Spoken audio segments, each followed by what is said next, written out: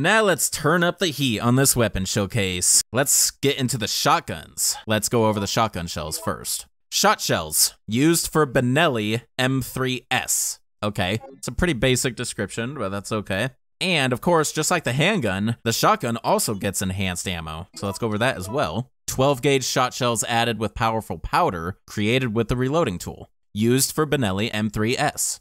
All right, so while we're still on the subject of ammo, I gotta go over the gunpowders again because gunpowder B is specific to shotgun ammo, and I gotta give you the many different amounts that you could possibly make with this. So just like gunpowder A, your skill level increases as you keep creating ammunition from gunpowder B. Once you do it eight times, on the ninth attempt to create ammo, it'll ask you for enhanced ammo, and you can start making that. So for regular ammo, gunpowder B, you can make as little as 7 shells and as much as 11 shells. With double B, you can make as little as 18 shells and as much as 27 shells. With triple B, you can make as little as 30 shells and as much as 45 shells. Finally, 2A's 1B can create as little as 20 shells and as much as 30 shells. So the multiplier, it's not exactly the same as the A. I think the gunpowder A has higher multipliers considering handgun ammunition is way weaker than shotgun shells. So to even it out, they didn't increase the multiplier nearly as much.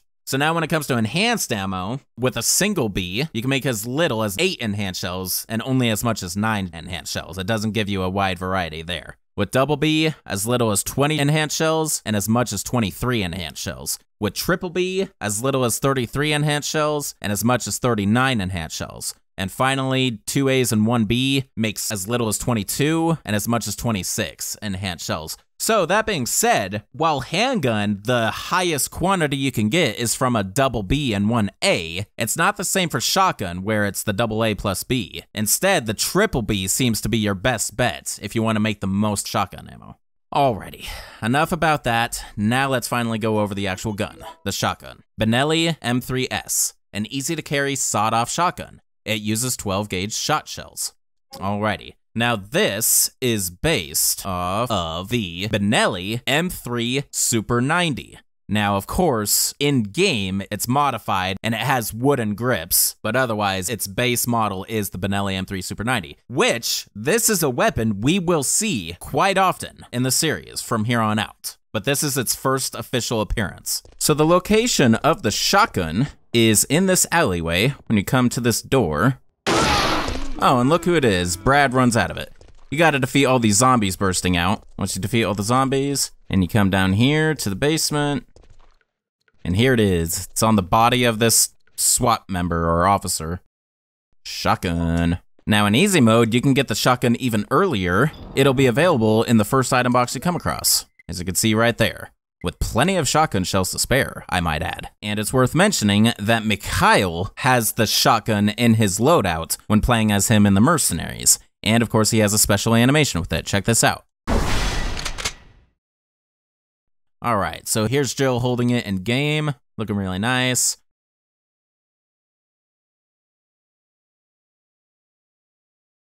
Let's test it out.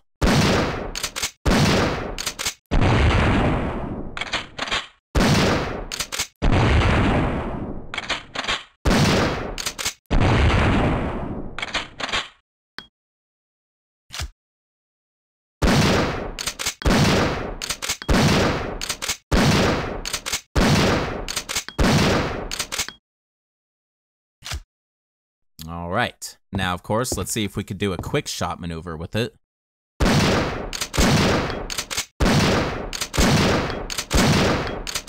No problem. All right.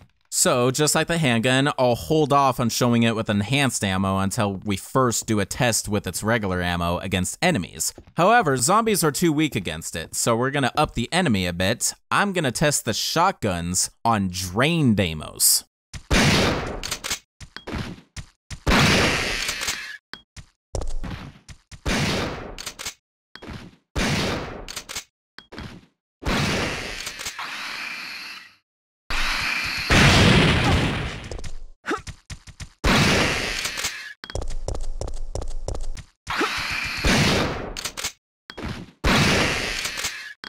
So, between four Drain Deimos, it took between two and three shotgun shells to defeat them in hard heavy mode in the NTSC version on the PC. Not bad. Now we're gonna return to the hub and check out the shotgun with enhanced shotgun shells. All right, so now let's combine the enhanced shells with this thing and check it out. Oh, I forgot. I gotta empty it first. There we go. So Benelli M3S Enhanced. Enhanced shotgun. It is loaded with enhanced shells. I could have told you that. So let's check it out with enhanced ammo now.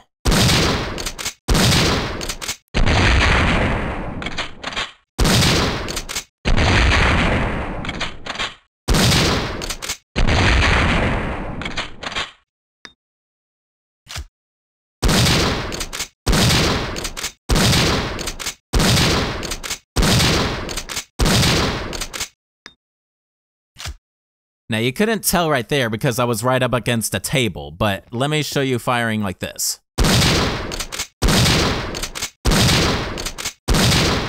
it knocks her back a good bit, kind of like the boomstick in RE2. And also you notice that the shell casing is blue instead of red. Neat little detail they put in right there. Let's try the quick fire with the enhanced ammo. Damn! You're unstoppable if you do that. All right, now we gotta test that enhanced ammo on some Drain Deimos.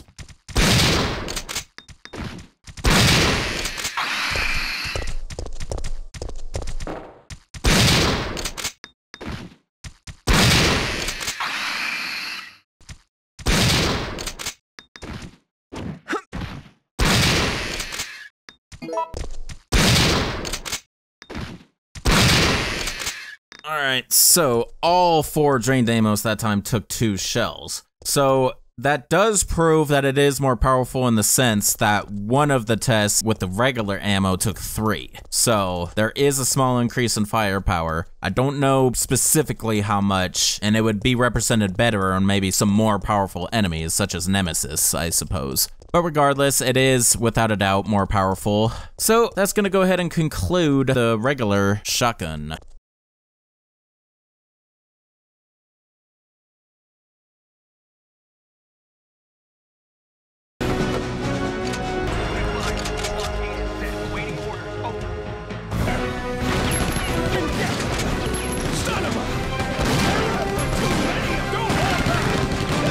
Now for the next and last shotgun. Now, this is another one, just like the Eagle 6.0 of the handguns, that you have to get parts for first. So they're depicted as the M37 parts A and B. These are acquired by defeating Nemesis four and five times. His fourth and fifth drops are these parts. Now to go over these parts individually first, M37 parts A, a wooden stock, and a magazine tube. And then M37 parts B, parts for a lever action gun. The barrel is cut short. Interesting. Combine them, and you got the Western Custom. So here you go.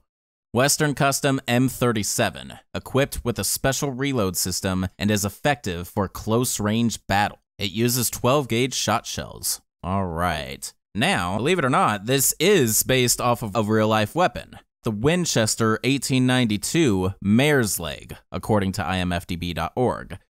Here it is in game. a puny looking shotgun, I might say. Almost the size of a pistol. All right, let's get Jill's pose with it. All right, let's give it the old test. You'll be surprised on how this one operates.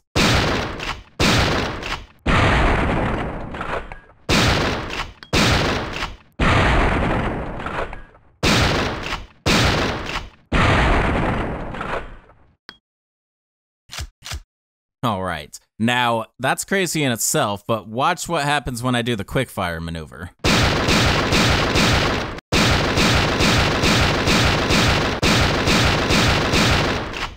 you go nuts with that. All right. Just like the Eagle, it cannot use the enhanced shotgun ammo, so you gotta make a compromise there. Let's go ahead and test this thing on some Drain Deimos.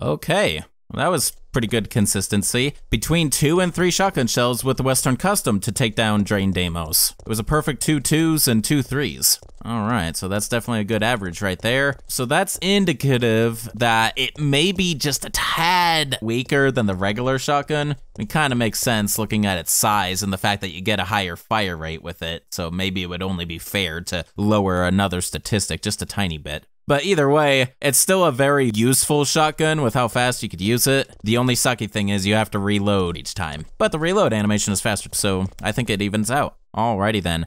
Well, that's going to conclude the Western Custom, as well as all shotguns. Now for the one and only Magnum, my favorite weapon class. First, let's go over its bullets. 44 Magnum rounds, powerful bullets for the revolver, used for Smith & Wesson M629C, which is this right here. Let's check it out. Smith & Wesson M629C, a large stainless steel revolver. A classic type equipped with weights to reduce the recoil. It uses 44 Magnum bullets. All right, pretty descriptive. So, this of course is based off the real-life Smith & Wesson Model 629 Classic. That's what the C stands for. This, I believe, is the first Smith & Wesson to be featured in a Resident Evil game. So Resident Evil 3 Nemesis does definitely have a lot of firsts of things that are going to become common throughout the rest of the franchise. So gunpowder does play a role with magnum ammo. The only combination of gunpowder that makes magnum ammo is triple C. Once you have this, use the reloading tool. There you go. You got some magnum bullets. Now, since it requires triple C, and there are up to 21 gunpowder A's in the game and 17 gunpowder B's, you can only have a maximum of 17 gunpowder C's. 3 doesn't go into 17, the most it can go into is 15 out of there, so you can create magnum ammo a maximum of 5 times. And the level improvement still exists even with magnum ammo. I tested it off camera. So with 5 potential times to make magnum bullets, the first 3 times you'll make 24, but the other 2 times you will make 26 Magnum rounds. So, just to put that out there. Now, the first opportunity to get the Magnum is in the STARS office, the same exact STARS office from Resident Evil 2. You should recognize this location very well from how many weapons were in this locker in Resident Evil 2. Well, Resident Evil 3 brings it back, and there's two more, one of which could be the Magnum, as you can see right here.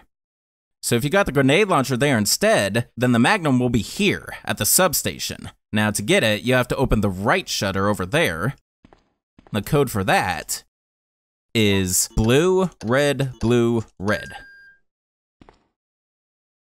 And there's no sound for the shutter because I turned off the BGM, and for some reason the devs made the shutter sound part of the BGM. And you go to this locker. There it is. Uh-oh. And just like the shotgun, if you're playing in easy or light mode, you can get the Magnum as early as the first item box, once again with plenty of bullets to spare. And it's worth mentioning that Mikhail can also use the Magnum in his loadout when playing as him in the Mercenaries. Alright, here it is in game, Jill holding it, looking really nice. Let's get her pose with it. Just tapping a revolver against your leg, let's go. Alright, here we go for the weapon test.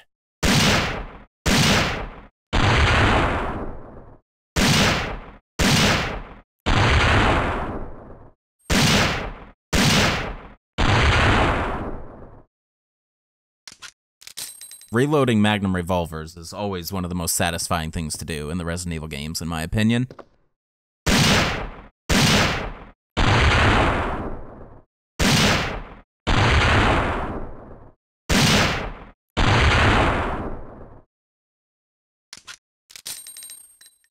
Now let's try the quick shot maneuver with this.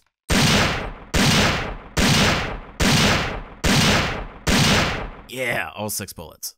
So, this is its own class, and I've decided with the firepower of this thing, we're gonna take it up a huge notch, and I'm gonna test this against Nemesis.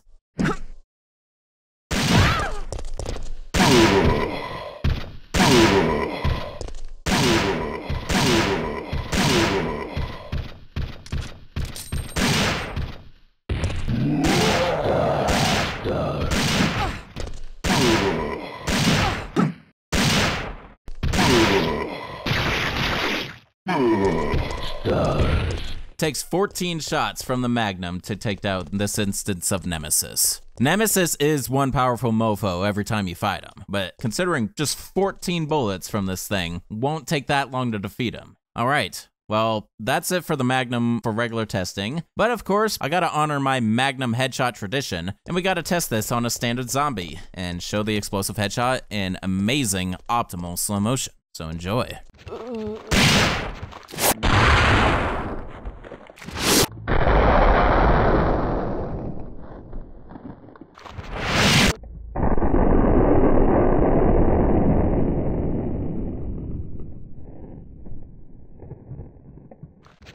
Headshot. All right, that is going to conclude the one and only Magnum.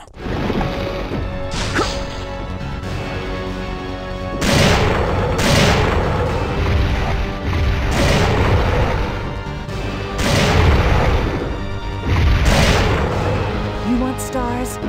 I'll give you stars.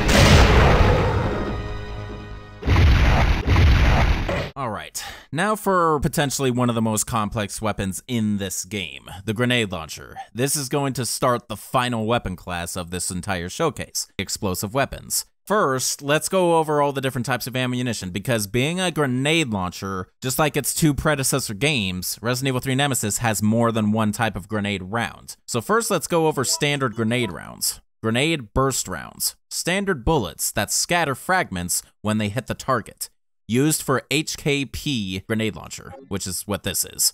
Now, you don't see any other rounds here because first I want to show you how you can make rounds using gunpowders because they are involved. So you have two ways to make special grenade rounds. You could either have these combinations of gunpowders, AC, BC, and CC. They make flame rounds, acid rounds, and freeze rounds respectively, freeze being the newest type of round. But another way you can create them is to combine gunpowder with grenade rounds. So I'll show you both of those right now. First, AC with the reloading tool.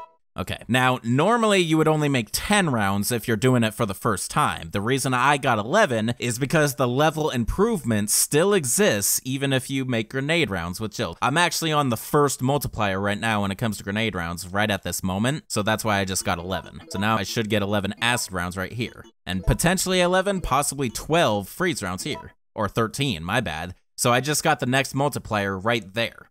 So now we got all the other types of rounds here, but let me show you combining with the grenade rounds as well. There you go. And once again, I was already a level up when it came to that kind of combination. Normally, it would only be six rounds you first create, not seven. All right, so let me go over the other rounds. Flame rounds. Special bullets whose warhead is filled with powerful napalm gel. Used for the HK grenade launcher, we already knew that. Grenade acid rounds. Special bullets whose warhead is filled with anti-creature sulfuric acid. Used for the grenade launcher. Alright, I love these descriptions, honestly. Finally, the freeze rounds. Special bullets whose warhead is filled with ultra low temperature liquid nitrogen. Used for HKP grenade launcher. Very technical terms being used here. These are the most scientific descriptions I've ever seen so far in this series, possibly in the entire series. I guess we'll find out as we go down the road. But yeah, pretty awesome descriptions, I have to say. Some of my favorites. Okay, now for the hard part. I need to explain to you, again, the maximum level improvement and how much of each type of ammo you can make. So, if you go the reloading tool route, you start making 10 rounds, and you can increase it to a maximum of 15 rounds if you're doing the gunpowder method with the reloading tool. Now, if you're going the grenade round route where you combine gunpowders with grenade rounds, as I told you already, at base level you can make 6 with a single gunpowder, and you can make a maximum of 10 when you reach maximum level. The cool thing is you can also combine doubles and triples with grenade rounds. You cannot combine double A and B or double B and A with grenade rounds. It won't let you. So you may notice here that unlike all of the mixing level improvement I've shown so far, in this particular case, it takes until six mixes before you get a level improvement. I do not know why this is the case for single gunpowder mixed with grenade rounds, because as soon as I go over to doubles, it returns to form. I do not know why this is the case. I can only assume maybe it's because of the sheer amount of single gunpowders you can acquire in the game. Because think about it 21A plus 17B for a total of 38 individual gunpowders. But it still doesn't make sense because the multiplier catches back up eventually anyway, as you see when I go over the doubles here. When it comes to double, you can make a minimum of 12 rounds and a maximum of 20 rounds, and finally with triple, you can make a minimum of 18 rounds and a maximum of 30 rounds. There you go. That is as convoluted as it gets, but I've covered every single base I can there. So since there's no more ammo mixing to be shown, now's a good time for me to tell you that the total amount of ammunition that you could create by any means doubles if you're playing in easy or light mode. That also goes for the ammo pickups that you get throughout the game. And another thing worth mentioning, while the numbers I provided of the maximum amount of ammo you can create was the legitimate maximum level, this game, of course, also has a debug menu where you can modify the inventory, and you can infinitely mix as much ammo and gunpowder and grenade rounds as you want. That being said, you can level up beyond the threshold when it comes to handgun and shotgun ammunition when you just use gunpowders A and B. But because you can't do it legitimately, I'm not going to deep dive into that, and I'm just simply going to mention it like I did. Alright, now we can finally go over the actual grenade launcher. HKP Grenade Launcher, a small sized grenade launcher developed for police use. It is loaded with burst rounds. So obviously that part of the description can change depending on which type of round you have loaded in it, but I'm not going to bother showing you every type of round when it's a single word that's going to be changed. Now, this grenade launcher in particular is not based on any single real life weapon. However, it seems to be inspired or a hybrid of two different real life launchers. It does contain parts of the M79 that we know from Resident Evil 2, but it also has some elements of what's known as the DefTech 1315 a really interesting looking launcher indeed. So, specifically, what makes it a hybrid, according to imfdb.org, it's based on a DefTech 1315 37mm gas gun with the addition of a horizontal foregrip, OD furniture, and the tube and folding grenade sight from the M79 grenade launcher. The grenade launcher and the Magnum are interchangeable when it comes to their locations. So, just like the Magnum, you could either get it here in the locker in the STARS office, there it is, or you could once again open the right shutter at the substation and get it in the locker there. There you go. So here's Jill holding it, looking nice. Let's get her pose with it. All right, so nothing left to do but to test it. Now, being in the grenade launcher, once again, the focus is on the round that I fire, not necessarily firing the weapon. So I'm to aim it this way so we can see the round explode on the wall over here. Here we go.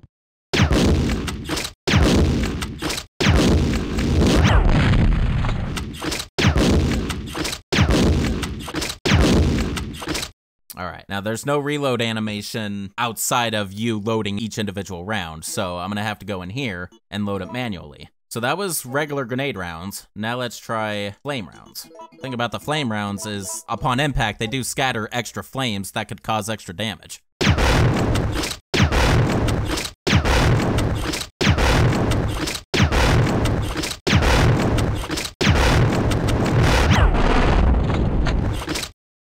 Now, for the acid rounds, and unlike the freaking handgun or shotgun with enhanced ammo, you can change ammo types at will. You don't have to empty the weapon first, so that's really nice.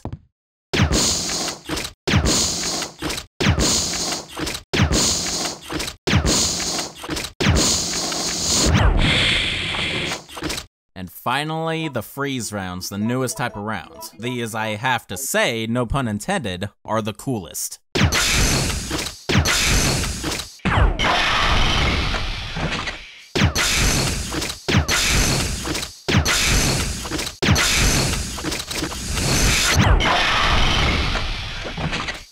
They also have scattering abilities, as you can see right there. All right, now let's try the quick shot maneuver with grenade launcher. Okie dokie, so a large variety of rounds there. This is going to be fun to test on the enemy I chose. I'm going to test all four of these rounds on our boy Nemesis.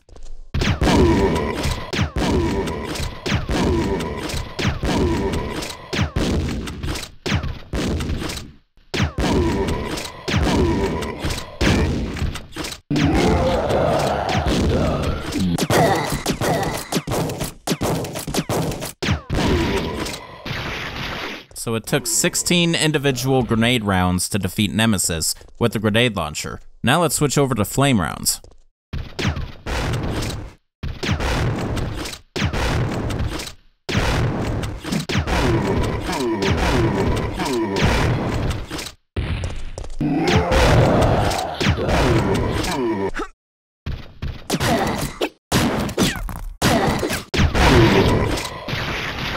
So it took 12 flame rounds from the grenade launcher to defeat Nemesis. Now you might think that indicates that it's more powerful than the regular grenade rounds, but remember that the flame rounds do scatter damage after impact, and that was definitely contributing a little bit there because you saw him wince in pain a few times. So just keep that in mind. Now let's move on to acid rounds.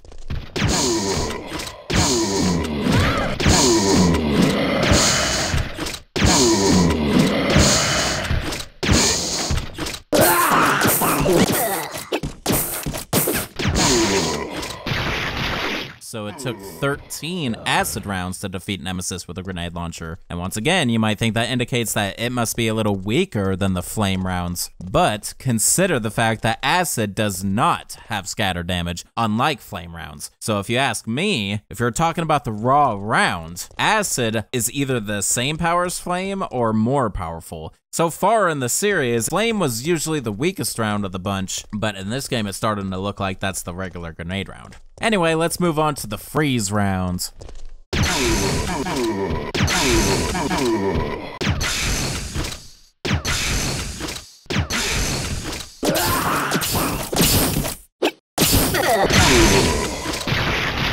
So it only took 10 freeze rounds from the grenade launcher to defeat Nemesis. So out of all the rounds, this test took the least amount of rounds. The freeze rounds have scatter damage just like the flame rounds did. So it's possible the raw round may be at worst the same as the acid round, but I can't really test it with just the raw round. So these overall tests, what the numbers show you, you might as well take them for how they are because it's hardly going to be a situation where you don't deal scatter damage with the rounds that scatter. Now, regardless of these tests, this was just one instance of Nemesis. You fight him many times throughout the game, and there's other sorts of enemies that may take more or less depending on what they are. For example, grenade rounds is a four all round. It would be good to defeat smaller enemies such as Drain Deimos, maybe even hunters, or groups of zombies. Flame rounds, of course, are good against giant spiders acid rounds are good for boss type enemies. I believe acid rounds are actually the strongest against the Gravedigger out of all the rounds, I want to say. And finally, freeze rounds are really good against Nemesis and other boss type enemies. Alrighty then. Well, that's gonna officially conclude the grenade launcher, one of the most complicated weapons in the game. Now for the next explosive weapon, the mine thrower. But first let's go over its ammo, the MT rounds special bullets that burst if anyone other than the user approaches, thanks to the equipped sensor used for mine thrower. Alright, pretty interesting. Now to go over the mine thrower itself. A prototype weapon made by Umbrella's armament department. It uses special bullets equipped with a sensor. Alright, now the mine thrower is completely fictional, so it's not based on any real life weapon. Now you must be wondering, why do I have these in the inventory, the infinite bullets? Well, that is because something special happens if you combine these with the mine thrower. Which by the way, again, as I went over the assault rifle, to get the infinite bullets, playing on New Game Plus, you have to drop Nemesis seven times, where he gives you seven total drops. On the seventh drop, you'll have the infinite bullets. But I'll go over that later once I need to go over the other version of the mine thrower. So for now, the location of the mine thrower is in the clock tower first floor main hall. This luxurious view right here. And as you can see, it is next to the body of an Umbrella Biohazard Countermeasure Service mercenary. And once you pick it up, you also get a file off of him. Now, just a quick mention, if you do play in easy mode, instead of the mine thrower, there'll be a wad of shotgun ammo right here. Here's Jill holding it in game, looking really interesting. And now let's get her with her pose. Clipping her waist. And now let's go ahead and test it out. Now, unfortunately, I can't use it to its fullest because it requires enemies to be used properly. So this is very similar to the spark shot from Resident Evil 2. But regardless, let's go ahead and test fire it.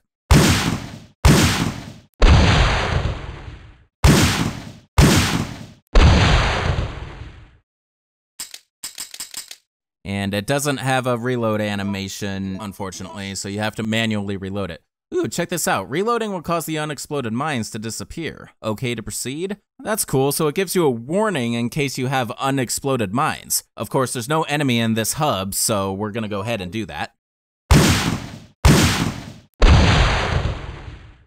And now, I'm gonna see if there's a quickfire maneuver with it.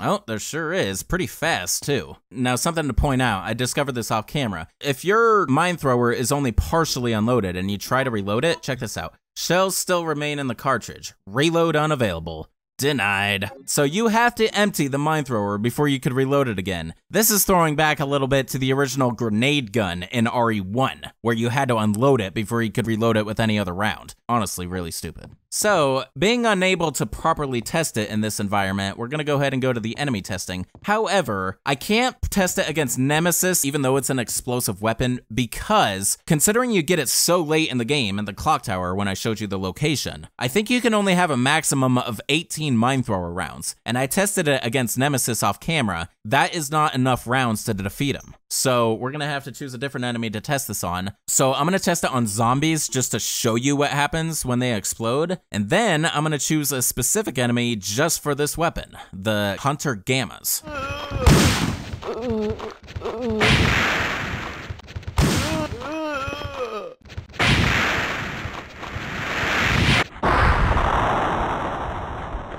Okay, so that's a great demonstration of where it does become useful. So once it attaches to the enemy, it gives you like two, three seconds before detonation. Now the thing to be careful about, even though I didn't successfully show it there, is if Jill is too close to that detonation, she will get injured herself. So you gotta be careful. But yeah, you saw the blast radius affected all the zombies surrounding the one zombie I fired it upon. That was really neat. Get some really good results with that splash damage. All right, that's demonstrating its use. Now let's test it against a slightly stronger enemy. Now let's try Hunter Gamma.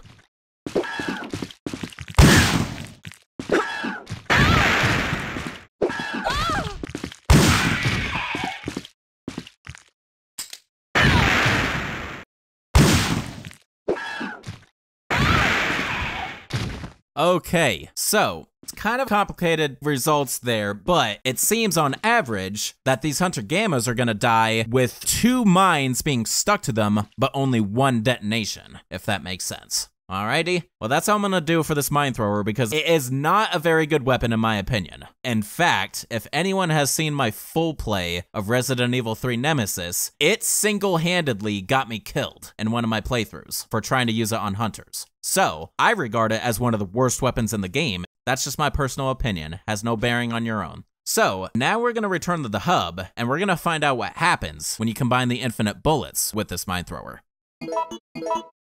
Bam. Now, it is the mine thrower enhanced. A mine thrower loaded with special bullets that have auto trace feature. All right. Here's another thing though. If you look at it very carefully, it actually has a lighter shade now of blue than it did previously before it was enhanced. It also has this special red marking on the stock. So there is a small difference of appearance when it comes between the regular mine thrower and the mine thrower enhanced. All right, so being infinite, let's go ahead and fire away and test it out as is now.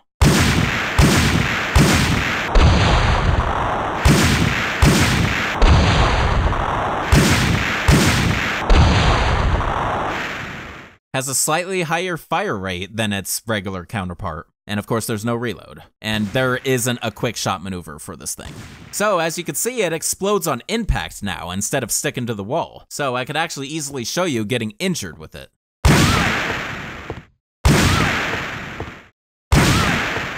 Ah, she's already in caution.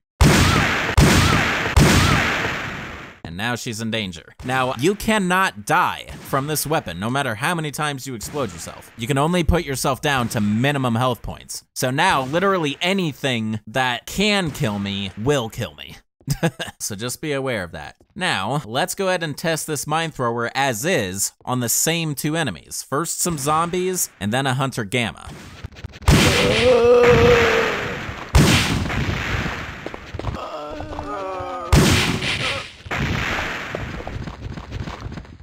Alright, so with the auto trace feature, this thing has so much power initially that it'll decimate zombies before the mine even explodes. I just decimated this line of zombies and the explosion took out the legs of one of them. And then that first set of zombies, none of them died by an actual explosion. They all died just from the mine going around and you know what this thing reminds me of? Yondu's arrow from the Marvel Cinematic Universe.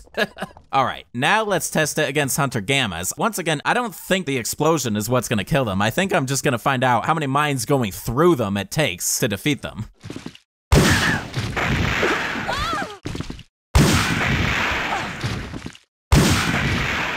Okay, so both Hunter Gammas took two mines each to be defeated. And again, as I predicted, that was from just the mine hitting them and going through them. Neither of them died from the actual explosion. If the mine had looped back around then exploded on them, it probably would have only taken one mine, to be honest.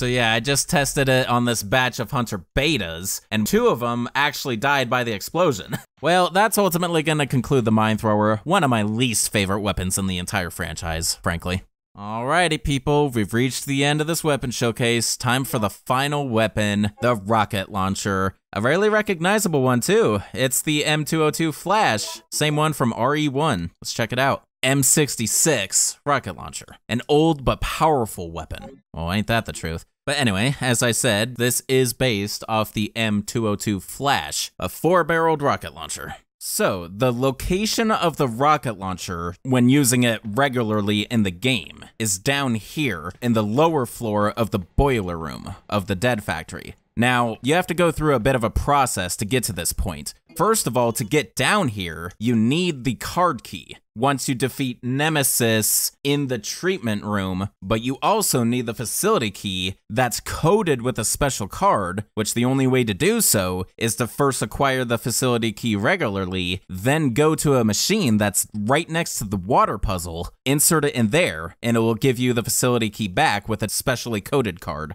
Once you have both of those and you get down here, use the facility key on this locker, like so.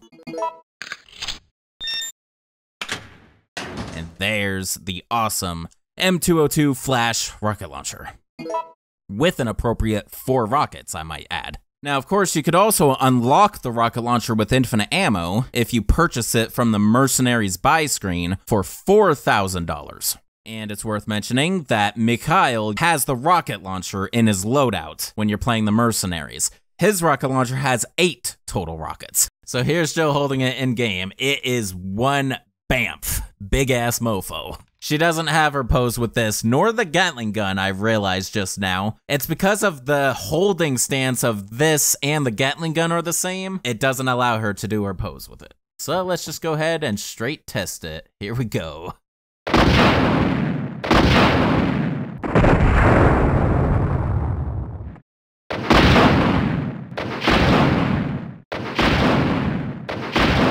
and as you can see, as she's gradually getting closer, it does knock her back a little bit.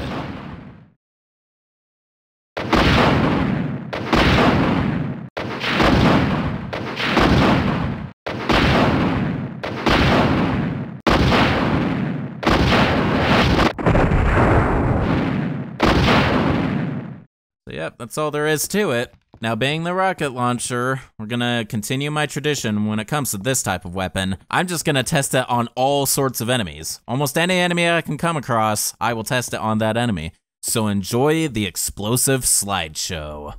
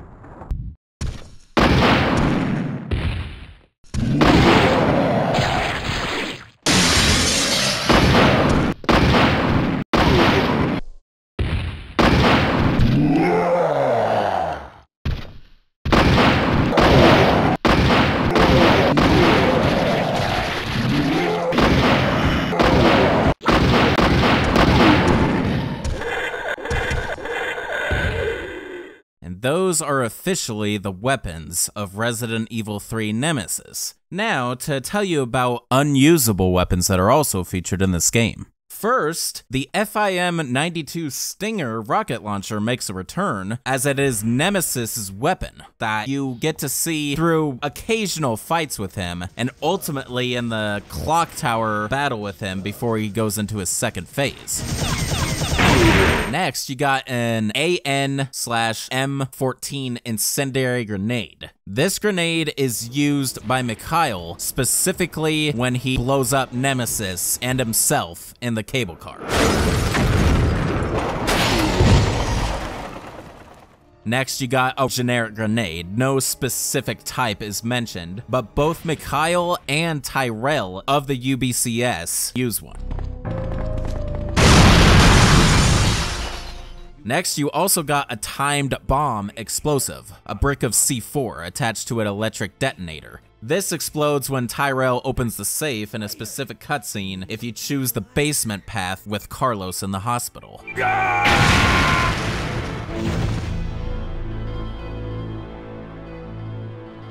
There's also an unusable sniper rifle embedded in one of the pre-rendered backgrounds here in the rail cannon room, and this apparently is the Accuracy International Arctic Warfare. This also means that Resident Evil 3 Nemesis is the first game where you see a sniper rifle, but it's unusable, so it's not the first game that you could use a sniper rifle.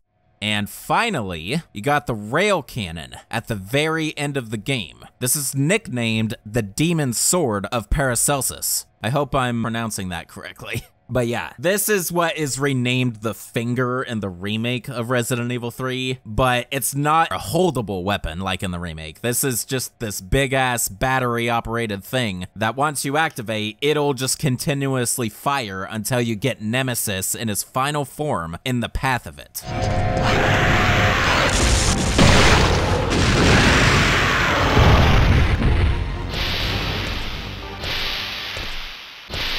And that is officially going to conclude my ultimate weapon showcase of Resident Evil 3 Nemesis. Now, being at the end of the review, we once again have to tally up the total amount of weapons and add it to the grand total of weapons in the entire series. So Resident Evil 1 had 10 weapons, Resident Evil 2 had 14 weapons, Resident Evil 3 Nemesis has a total of 12 weapons.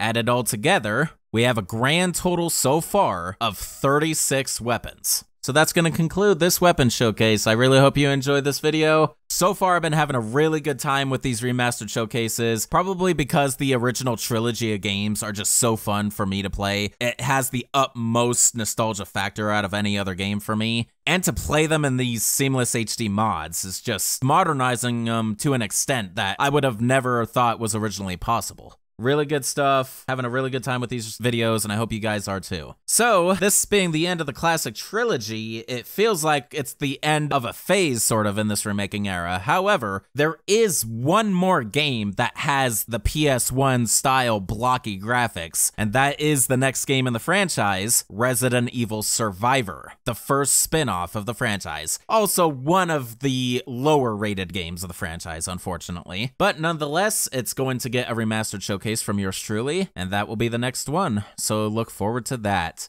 Alrighty, people, this is Shankster94, aka the Gamer Shankster. Slap a like on this video, and don't forget to subscribe, and make sure you click that notification bell and set it to all, so you know exactly when I upload a new video. Alrighty? Follow me on social media. First, you got X Twitter, one of the platforms I'm most active on today. I love hanging out with Resident Evil mutuals there. Check out my Facebook page. I don't use it that much other than to link my video uploads there, but you can always join it if you want to follow it. And check out my Patreon page to support me. Here's a list of my current active patrons right here. Their patronage is appreciated. And finally, join my Discord server if you haven't already, Shankster's Hub, because one of the coolest things about my channel nowadays is my Discord server. It's full of mutuals who enjoy my content and who are also Resident Evil fans themselves. And you can see these remastered showcases being developed behind the scenes, and you can be a part of the process that goes into them. So yeah, definitely join my Discord server if you haven't already. Alrighty, people, that's gonna end it for this video, and I hope you all have a good day. Peace out.